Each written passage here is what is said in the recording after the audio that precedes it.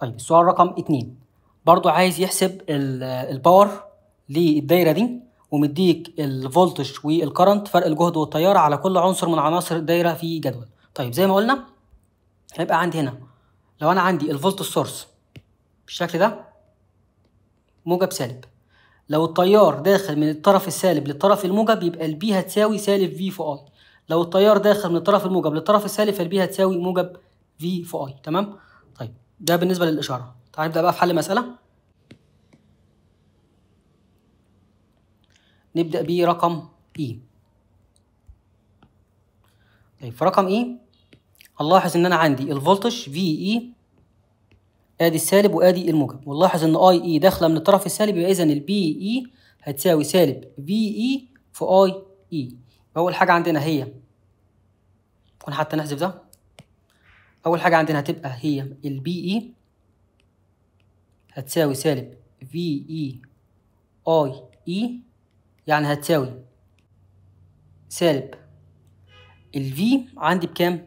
ال VA عندي ب 46.16 يبقى 46 point واحد ستة.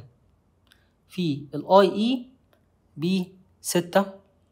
نحسبها على الآلة تطلع معانا بكام؟ تطلع معانا ب سالب ميتين ستة وسبعين point تسعة ستة. طيب نروح لرقم B في رقم B هنلاقي إن ال VB بالشكل ده آدي الموجب وآدي السالب ونلاحظ إن التيار IB داخل من الطرف الموجب. يبقى اذا ال PB هتساوي موجب VB في IB يعني هتساوي أول حاجة ال VB ب 14 point واحد ستة في ال IB ب 4 point سبعة اتنين نضربهم في بعض على الآلة هيدينا كام؟ هيدينا ستة وستين point تمانية تلاتة خمسة اتنين.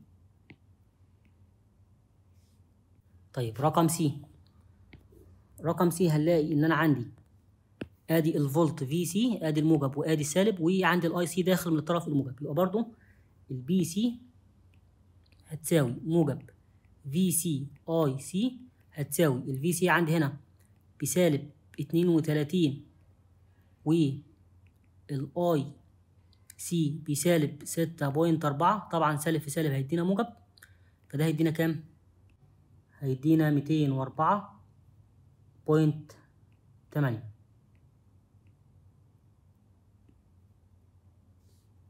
طيب نروح لرقم D. رقم D هنلاقي إن أنا عندي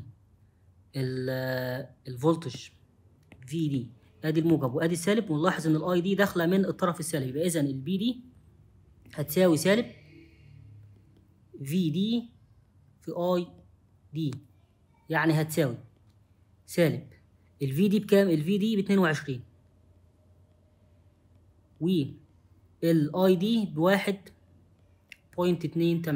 احسبها على الآلة تطلع معانا بكام؟ تطلع معايا ب سالب تمانية وعشرين point واحد ستة. طيب اللي بعدها رقم E رقم E هنلاقي إن أنا عندي ال VE أدي الموجب وأدي السالب وال IE داخلة من الطرف الموجب. يبقى ال VE هتساوي موجب VE في IE يعني هتساوي.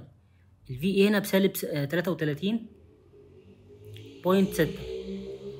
وال IE بسالب واحد point ستة تمانية. طبعا سالب في سالب هيدينا موجب.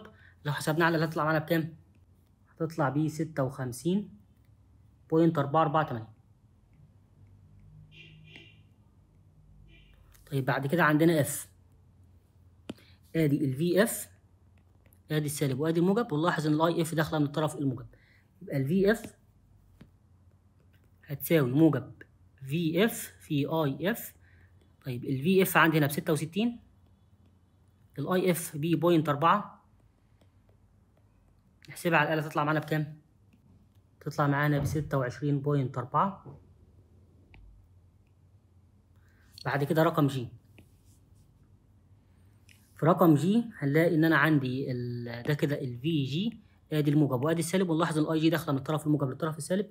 يبقى اذا ال VG هتساوي موجب. VG في IG يعني هتساوي. ال VG عندي هنا خمسة ستة في ال IG اتنين تمانية.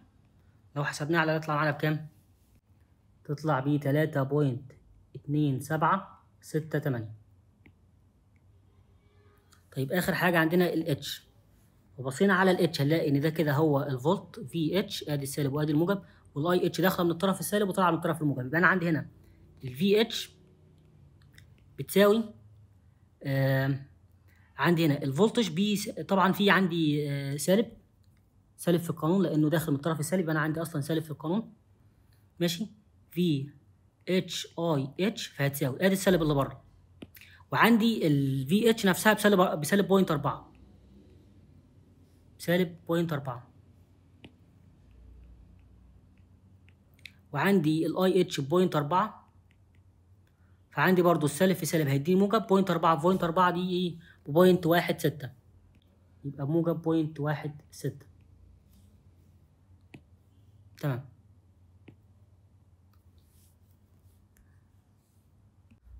طبعا آسف المفروض دي كده تكون PE دي تكون آه PF ودي تكون PG.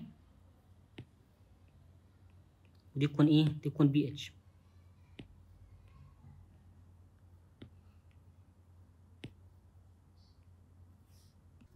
طبعا وحدات القياس. دي بالوات دي بالوات دي بالوات بالوات بالوات بالوات بالوات بالوات. طيب بعد ما حسبنا ال power لكل عنصر بيقول لي هات لي ال total power developed وال total power absorbed يعني ال total power اللي generated أو اللي تم توليدها وال total power اللي تم امتصاصها. طيب لو أنتوا فاكرين إحنا قلنا إحنا عندنا ال P أو ال power لو هي بتساوي موجب V في I أو يعني ال power طلعت بإشارة موجبة ده معناه إن ال power absorbed أو تم امتصاصها absorbed أو تم امتصاصها. لو ال P طلعت بإشارة سالبة سالب V في I وطلعت في الآخر بإشارة سالبة دي معناها إن هي power developed أو تم توليدها أو generated كلهم بنفس المعنى. طيب فهنا أنا عندي تعال الأول نجيب ال power اللي هي developed هنجيب total power total developed. sorry total developed power طيب مين هنا العناصر اللي بتديني power؟ كل العناصر السالبة. عندي A طلعت بإشارة سالبة. ال A طلعت باشاره سالبه فدي معناها ان هي بتديني power. وكمان ال D ماشي؟ يبقى ال A وال D دول اللي طلعوا معايا باشاره سالبه يبقى أنا عندي ده هيساوي. ال P A زائد ال P D يعني هيساوي. ال P A عندي بسالب ميتين سبعة وستين أو ميتين ستة وسبعين point تسعة ستة زائد ال P D بسالب تمانية وعشرين سالب تمانية وعشرين point واحد ستة ده هيديني تلتمية وخمسة point واحد اتناشر. سالب. تمام؟ يبقى دي كده ال total power اللي هي إيه؟ اللي هي developed طيب بعد كده total power absorbed. total absorbed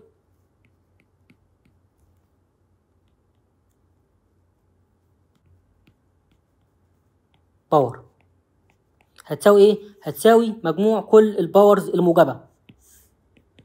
طيب فانا عندي البي بي هتساوي البي بي زائد البي سي زائد البي اي زائد البي اف زائد البي جي زائد البي اتش كل دول طلعوا بالموجب يعني هتساوي ال P B بكام ال P B عندي بستة وستين point تمانية تلاتة اتنين خمسة أو تلاتة خمسة اتنين زائد ال P C طالعة بكام وأربعة point تمانية زائد ال P E أربعة أربعة تمانية زائد ال P F اللي هي point أربعة زائد ال P G ستة تمانية وأخيرا ال P H اللي هي point واحد ستة نجمع دول على الآلة يطلع معانا بكام؟ هيطلع معايا بموجب تلاتة خمسة سبعة علامة تسعة اتنين. يبقى دي كده خلينا نقول دي كده ال P absorbed دي ال P absorbed ودي هي ال P developed أو ال P generated طيب المفروض لو الدايرة دي صحيحة المفروض لما تجمع ال total power ال total absorbed power زائد ال total generated power المفروض يديك صفر. بس هنا انت هتلاحظ ان انت لو جمعت ال developed power اللي هي سالب 305.12 زائد ال absorbed power اللي هي 357.92 الكلام ده مش هيديك صفر.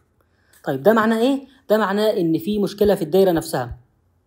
يعني لو رحت لنفس المسائل دي في الكتاب هو هتلاقيه مقسم لك المسألة. لايه احسب النواتج دي. رقم ب اعمل ال check بتاعك وتأكد إن النواتج دي من الناحية الهندسية صح ولا غلط. طبعا في مسائل بتبقى من الناحية الهندسية غلط ومسائل من الناحية الهندسية صح. في المسألة رقم واحد لما حليناها لقينا فعلا إن مجموع ال power كان بصفر فدي مسألة صح من الناحية الهندسية. في آه، مسألة رقم اتنين لما جمعنا مجموع ال power ما طلعش معانا بصفر فده معناه إن في خطأ في ال data. بس هو هنا ما سألكش السؤال ده. الكلام ده الأسئلة دي في موجودة في الكتاب بس لكن مش موجودة هنا. فدي بس حتة زيادة عشان لمجرد الفهم. تمام؟ لكن هي دي خلاص الإجابة النهائية اللي المفروض تكتبها في الواجب. دي كده هي ال total absorbed power ودي كده ال total developed power وده كده حل السؤال رقم اتنين.